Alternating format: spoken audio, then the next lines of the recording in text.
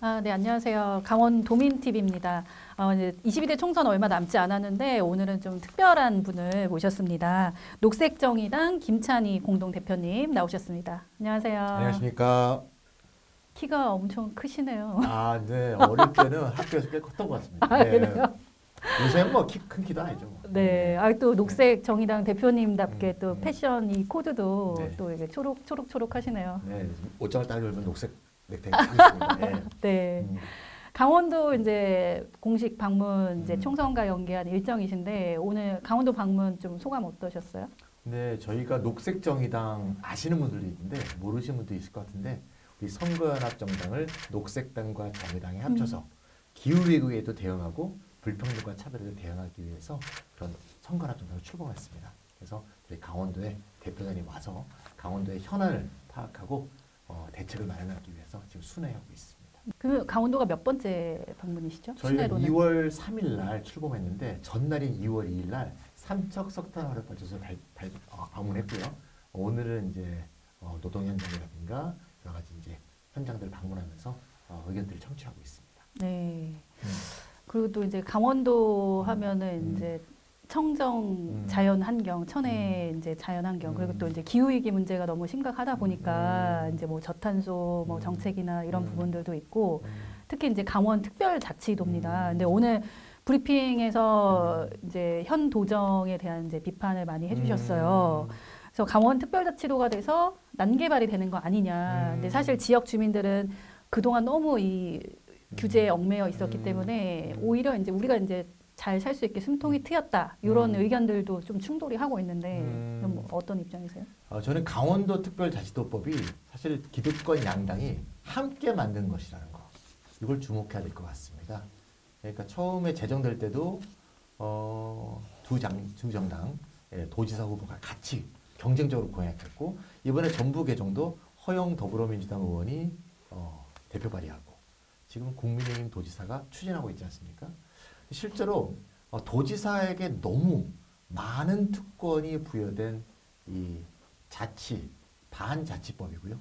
그 다음에 도지사가 함부로 자기의 개인 결정으로 이 천혜의 자연환경을 파괴할 수 있도록 되어 있는데 어, 많은 도민들이 이렇게 생각할 수 있습니다. 뭐 큰 대기업 유치되고 큰 건물 빌딩 많이 생기면 우리가 뭐 규제도 없어지고 그러면서 좀 더 잘 살게 되지 않냐 이렇게 생각할 수 있는데 하나 예를 좀 들면 됐을 것 같아요.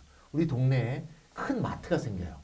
그럼 그 지역의 지역 경제가 활성화되고 뭔가 생활이 나아질 것처럼 보이지만 사실 거기서 발생한 모든 수익은 일단 수도권으로 가고 이 수도권으로 간 게 또 사모펀드로 가고 그 사모펀드에 투자한 사실은 투자자들에게 가는 그런 식으로 모든 자본과 모든 돈이 사실 수도권과 대형 대기업으로 쏠리게 되는 것이거든요. 사실상 그 규제가 풀린 개발 사업이 실제 강원도민의 삶의 개선에 큰 도움이 될지 이런 부분에 의문이고 저희는 경제를 도외시하자는 게 아니라 진짜 강원도의 자연 환경에 맞는 어, 그런 어, 경제 발전, 강원도민에게 맞는 경제 발전의 방법이 뭘까 이런 거에 대해서 고민하고 있습니다. 네. 그런 그런 부분들과 연계해서 음. 이 강원 공약 음. 아니면 좀 전체적으로 적용할 수 있는 거 이 천혜의 자연환경을 보존을 하면서 음.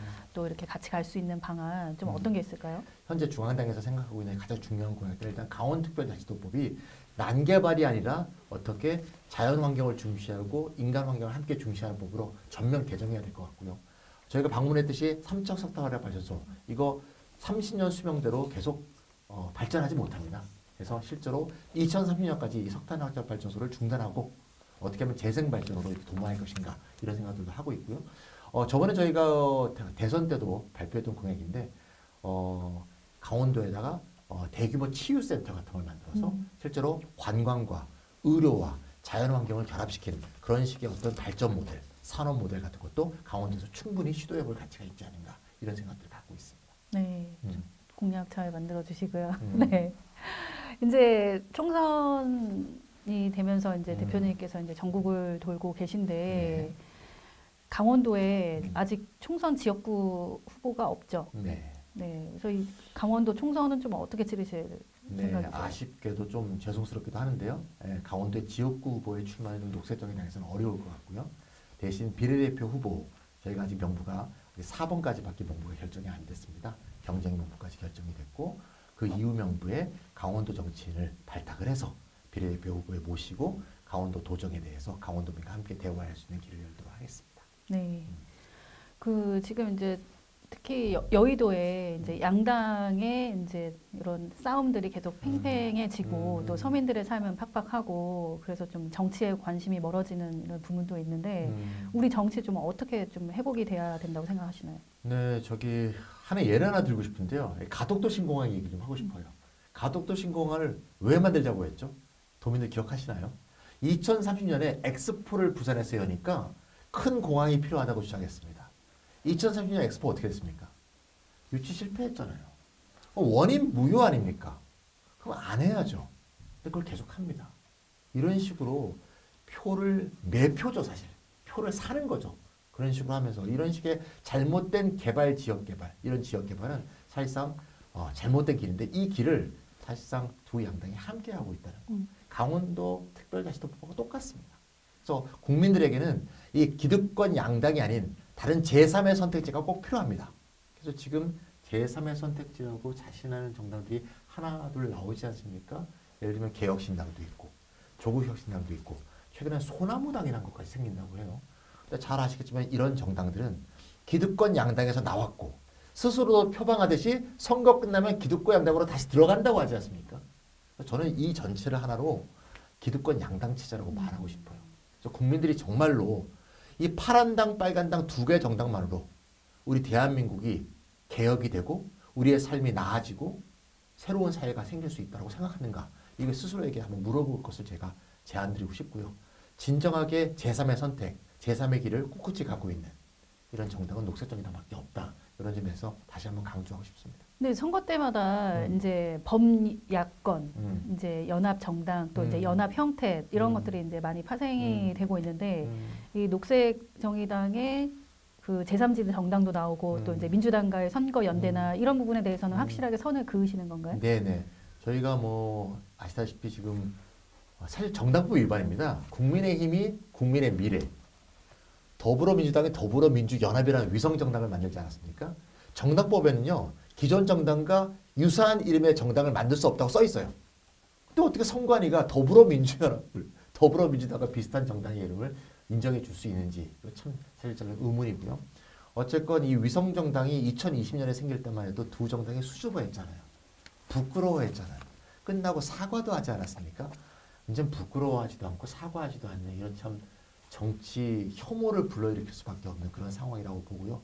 대놓고 위성 정당을 하지 않습니까? 그래서 저희는 국민들에게 아까 얘기했지만 가덕도 신공항 특별법에 따른 공단법의 표결을 얼마 전에 있었습니다.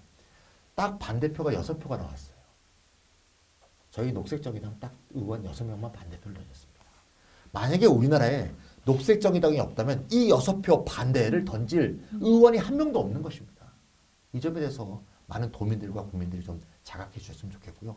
그런 의미에서 국민들에게 이 양당이 아닌 다른 선택지를 꼭 만들어줘야 된다. 그런 우리가 의지를 갖고 사실 더불어 국민당, 더불어 민주당에서 하는 위성정당에 가면 의석이 늘어날 겁니다. 근데 그 의석의 유혹을 단호히 거부하고 우리가 황야에 선 기본으로 절벽에 서 있는 마음으로 국민에게 제3의 선택지를 주기 위해서 진짜 결정적인 그런 도전과 과감한 선택을 했다는 점을 좀 중시해 주셨으면 감사하겠습니다. 네. 음.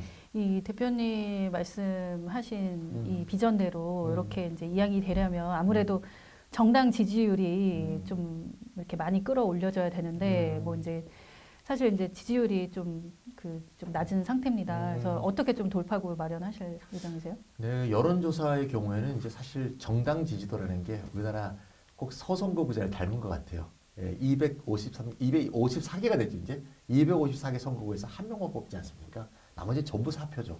그러니까 좋아하는 정당 한 명을 뽑아라 그랬을 때는 저희가 아직은 좀 지, 어, 어, 선택자가 지가 좀 좁을지 모르겠는데 사실은 많은 여론조사에 볼 때 비례대표에서는 어떤 정당을 찍을까 할 때는 저희가 또 굉장히 많이 나옵니다. 그래서 여기에 좀 간극이 있는 것 같고요. 그래서 저희가 이제 만족할 수는 없고 국민들도 만족하지 못하실 것 같습니다. 그래서 저희가 사실 이 국가에 대해서 어떤 비전을 갖고 저희가 제시하고 그거에 따라서 국민들의 생각이 바뀔 수도 있다고 보는데요. 많은 국민들이 최근에 조사한 결과 기후 위기가 심각하다. 또 기후에 대응이 필요하다. 나는 기후 유권자다 하는 분이 국민 3명 중에 한 명이었다고 합니다. 예, 최근에 17,000명이나 조사한 여론조사 결과입니다. 기후 기후 위기 바람이라는 데서 조사를 했는데요. 많은 분들이 기후 위기에 대한 심각성을 갖고 있는데 이 부분을 어떤 정당에 대한 지지로 표현할 것인가 아직 그거에 대한 정보와 결정이 아직 좀 어, 요 격차가 좀 존재하는 것 같습니다. 저희가 좀 더 열심히 노력을 해서 이런 기후 유권자, 예, 기후 위기에 대해서 걱정하는 사람들의 마음에 흡족할 수 있도록 우리가 좀 더 알리고 또 활동들과 우리의 정책들을 알리게 된다면 요 갭은 좀 메꿔지지 않을까 이렇게 저는 확신하고 있습니다. 그리고 또 앞서도 이 거대 양당 체제가 고착화된 음. 이런 문제를 지적을 해주셨는데 음, 이 국민의힘 한동훈 비대위원장 그리고 음. 더불어민주당 이재명 대표 음. 좀 평가해 주신다면 좀 어떠세요? 네, 한동훈 대표는요 마음 따뜻한 마음이 없는 것 같습니다. 그러니까 그런 거 있잖아요. 좋은 환경에서 어, 뭐 그냥 성장하고 사실 아무 부족한 거 없이 모자람이 없이 그냥 아, 누구한테든 이제 칭찬받으면서 모험생으로 켜고 그런 사람 아닙니까? 아마 세상의 어두움과 세상의 어려움이 뭔지를 저는 모르시는 것 같아요. 그래서 발언을 보시면 발언이 톡톡 튀긴 합니다. 네, 그리고 뭐 어, 감각도 있을 수 있는데 그 속에 따뜻한 마음이 저는 좀 느껴지지 않는다 그런 생각이 듭니다. 그래서 우리 국민들은 따뜻한 마음을 갖고 있는 보통 사람들의 마음 또는 배제되어 있는 사람들의 마음 평소에 그 사람들의 목소리가 들리지 않는 사람들의 목소리를 갈구하고 있지 않은가 그런 면에서 그 점에서 가장 모자람이 있는 그런 정치라고 생각하고요. 어, 이재명 대표의 경우에는 어떻게 포용할 것인가 어떻게 자신과 의견이 다른 사람들 어, 또는 의견이 배치되는 분들을 어떻게 포용하고 이걸 한데 모을 수 있을 것인가에 대한 포용력이 부족한 게 아닌가. 그래서 그런 것들이 현재 어떤 나타나고 있는 모습이라고 보고요. 그래서 어, 녹색정당은 어떻게 이 어떻게 따뜻한 마음을 갖고 있는 정당, 또 그 다음에 이 어떻게 많은 국민들을 포용할 수 있는 정당으로 녹색정당이 더욱더 노력할 수 있고 발전할 수 있는 정당으로 되도록 앞으로 노력하도록 하겠습니다. 그리고 이제 아무래도 또 정부 정책과 관련해서도 음. 많은 목소리를 음. 내주시기는 하는데 음. 이 윤석열 정부의 국정 운영에 대해서는 음. 좀 어떻게 평가하시나요? 네, 저는 문재인 정부하고 윤석열 정부가 결정적인 차이가 이거라고 봅니다. 문재인 정부는 멋있는 말을 하고 실천하지 않은 정부, 무능한 정부라고 생각하고요. 윤석열 정부는 험악한 얘기를 하고 험악한 짓을 합니다. 네, 험악한 정부라고 생각합니다. 무능한 정부와 험악한 정부 중에서 험악한 정부가 조금 더 나쁘죠.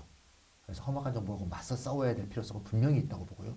하지만 무능한 정부가 큰 소리 칠 자격은 없다고 봅니다. 과연 우리가 윤석열 정부를 대체할 수 있다든가 윤석열 정부 대신에 우리를 뽑아준다면 좀 더 실천을 하겠다. 이미 국민들한테 그 말이 통하지 않습니다. 그래서 그런 부분에 대해서 반드시 말씀드리고 싶고요. 그래서 다른 국정에 대해서는 뭐 말하실 것도 없고 국민들이 더 잘 아시죠. 해외에서 어떤 일들을 했고 국내에서 어떤 일을 하고 있는가 잘 알고 계실 거고요.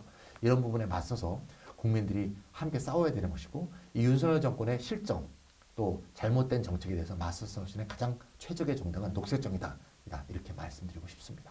그리고 이제 또 지역 순회 하면서 또 민심을 또 많이 들으시고 계신데 음, 이제 사실 강원도는 뭐 이제 이제 비수도권이잖아요. 네. 뭐 이제 서울하고는 뭐 교통 여건이 인접해 있기는 하지만 음. 이제 수도권은 점차 이렇게 계속 팽창이 되고 음. 뭐 강원을 비롯한 음. 비수도권의 이 양극화 문제, 음. 지역 소멸 문제 음. 이런 문제에 대해서는 뭐 정의당에 좀 해법이 있으실까요?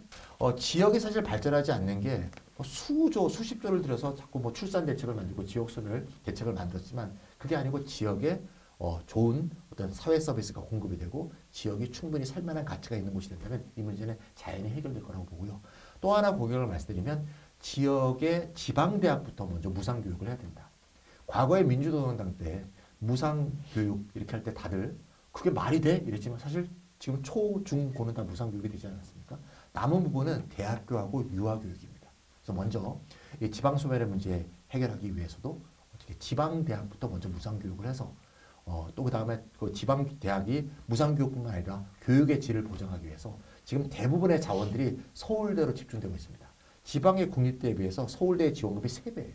이런 부분에 어, 불평등한 부분도 해결해 나가서 지방 국립대를 일본 수준으로 어떻게 발전시킬 것인가 이거에 대한 종합적인 계획을 갖고 발전시키는 것도 어, 지역 소멸 문제나 지방 발전에서 굉장히 중요한 문제가 아닌가 싶고요.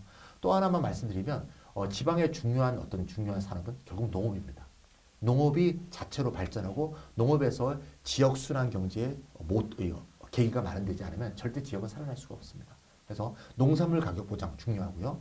소농도 살 수 있도록 월 30만 원의 농업인 기본소득 지급 저희가 주장하고 있고요. 또 기후위기에 대응하기 위해서 친환경 작물에 대한 농업직 부금도 늘려야 됩니다. 이런 식으로 농업 대책을 어떻게 발전해 나가는가 하는 게 도농 상생과 지역을 발전시킬 수 있는 중요한 계기가 될 수 있다. 저는 그렇게 생각합니다. 네, 여러 가지 그 말씀해주신 지역 공약들이 음. 또 적용이 될 것 같고 그 음. 지방대 무상교육은 최근에 삼척에 방문하셨을 때 네네네. 그때 공약으로 네, 발표해 1호 주신 공약으로 맥락이시죠? 발표했- 예, 네. 맞습니다.